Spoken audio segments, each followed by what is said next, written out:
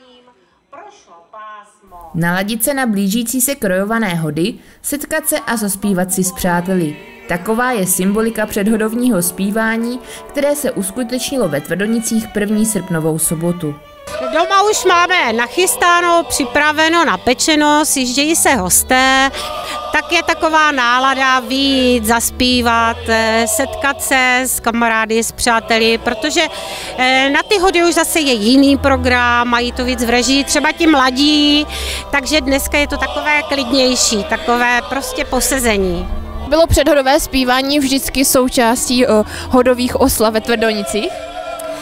Nebylo tomu tak, stejně jako v ostatních podlužáckých obcích je to záležitost posledních, řekněme, 15 let. My jsme začali o něco později než některé jiné. Myslím si, že v Prušánkách začali daleko dřív, v Mikulčicích, ale tady už to pořádáme snad po 15. Hlavními pořadateli jsou domácí tvrdoňsko-kostický mužský sbor se slováckým krůžkem a s obcí Tvrdonice. Je to tak, že oni už se ty sbory mezi sebou domlouvají, takže když Prušánčani zpívají ve Tvrdonicích, budou zpívat Tvrdončané v Prušánkách. Vzpomínaný mužský sbor z Prušánek je tady dnes, je tady eh, mužský sbor z Moravské Nové Vsi, ženský sbor z Moravské Nové Vsi. Nebývale je tady dneska sol a duet připravených, což jsme ale velice rádi. Na úvod vystoupili děti z domácí poměnky, děti také u nás moc nevystupovaly tady na tyto akce, ale poslední asi tři roky bereme i děti a už i tam se nám klube taková jedna solistka, takže jsme hodně rádi i za to.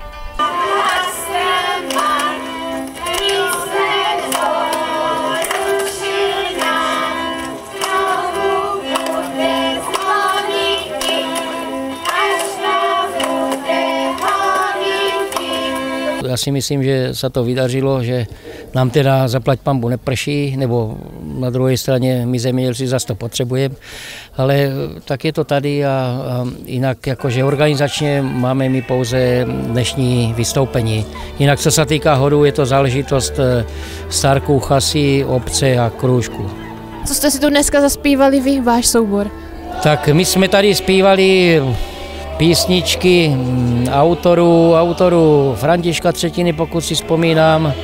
E, byl tam, myslím, že i pan Hnátek, to už jsou samozřejmě nežijící autoři, ale prostě celkově čerpáme z našich věcí tady, přímo na podloží. E, fungujeme od roku, vlastně, kdy se rozpadla republika, tak my jsme se spojili jakože Tvrnice Kostice, to už možná bylo známo v médiích a různě. A prostě jakože kde vystupujeme, no tak různě tady po podloží, po okolí, ještě máme dobré přátelé v západních Čechách, čili domažlické slavnosti, marákovské a podobně. Nedílnou součástí předhodovního zpívání ve Tvrdonicích každoročně také je cymbálová muzika. Kdo vystupující doprovodil letos? Je to cymbalová muzika Modruša z Moravského Žižkova, ta je tady vůbec poprvé. Nám, nám většiny celkově taková neznámá, ale jsou to mladí hoši, no a jedna dívka je tam, teda abych jakože byl přesný, ale už na zkoušce, co jsme měli předcházející zkoušku na toto vystoupení, tak to bylo vynikající a jsme s nimi spokojení.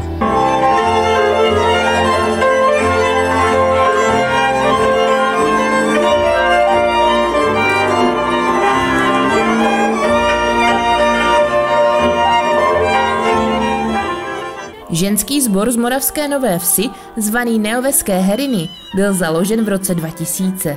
Vystupem vlastně po celé republice, i v Rakousku, na Slovensku. Eh, asi nejvíc jsme si vážili vystoupení v parlamentu, v Senátu České republiky a hlavně jsme byli několikrát na Mezinárodním festivalu ve Strážnici a toho si ceníme opravdu hodně. S jakým repertoárem tu dnes vystoupíte? Ehm, my tady máme naše podlužácké písničky, protože je to předhodové zpívání. Tvrdonice patří do podluží stejně jako Moravská Nová Ves, takže na takových akcích zpíváme vždycky podlužácké písničky. Máme v repertoru spoustu písní a snažíme se je obměňovat. Vždycky záleží ještě na zkouškách s cymbálkou, které dodáváme noty. Oni po každé hrají jiná cymbálka, ale většinou se snažíme ty písně obměňovat. A jak se vám tu dnes líbí? Naštěstí neprší, takže výborné, trošku je chladno a my, my si to užíváme a jsme rádi. A když je třeba méně lidí, tak uh, zaspíváme rádi pro každého.